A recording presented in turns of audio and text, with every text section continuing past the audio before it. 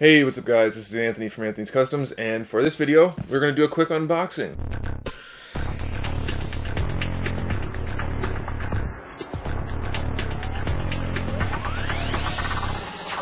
I think it's just one item, but again, I'm not entirely sure what's in the box. So we're going to open it up and see what it is. I'm pretty sure it is the PlayArts Kai Tetsuya Nomura Batman's Catwoman. So just Catwoman, not Batman. I just said Batman because the last figure that came out that was Tetsuya Nomura was Batman. And I have problems. But let's open it up and see oh, what it is. It's, the box is kind of an odd shape for being Catwoman, so I don't know if that's what it is or not.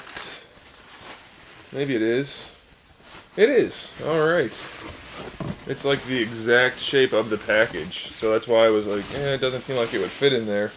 But looks like we didn't get too much damage on the package. There's the outside. Alright, let's open it up and see what we have. Well, let's first look at it from here. Not much to see this way. You can always check out your Play PlayArts figures like that. But, eh, eh let's open them up and see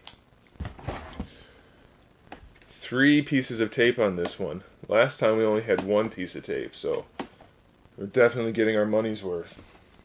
Let's hope the packaging is actually glued together properly this time. That would be that would be a good thing. Yeah, we're good. We are good. Alright, let's take a quick look at this. I will be reviewing it, so I'm not going to spend too much time again, but uh, we're going to see what we can see quickly, if I can get it open.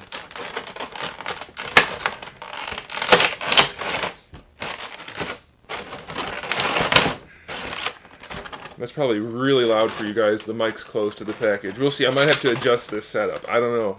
I don't know. Opening the packaging is often the hardest part about stuff. I don't know. I don't know. What do you guys want to see first? Accessories or figure? Let's do accessories first. That'll be more fun. So the first one is maybe maybe a whip like piece. Yeah, so I guess this is just like the whip. Maybe it, won't focus unless I do this, maybe. I don't know. Yeah, there you go. I guess it's just supposed to be your whip. So there's that. That's one piece.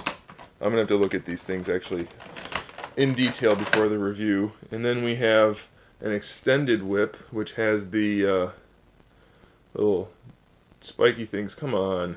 Spiky things on it, which is cool. Neither of these are actually bendy, though. They're flexible, but not bendy, so that's going to limit the posability quite a bit.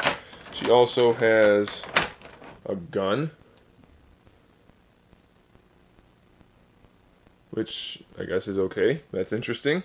We have some hands, just two whip holding hands. I'm not going to focus on all of these because that's what the review's for. Uh, another style pose hand and a maybe the gun hand, I'm not sure, and then some more style pose hands with the big claws on them. So that's pretty cool. And now let's look at the actual figure. She looks pretty good first glance.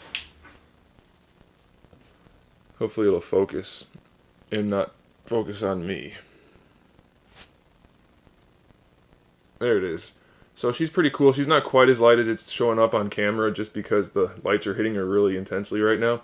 But she is fairly light colored, pretty grayish brown. I do like the look of the figure though. A lot of people said, oh, it doesn't look like Catwoman. Well, it looks like a variant of Catwoman from an alternate universe. So I think that's okay.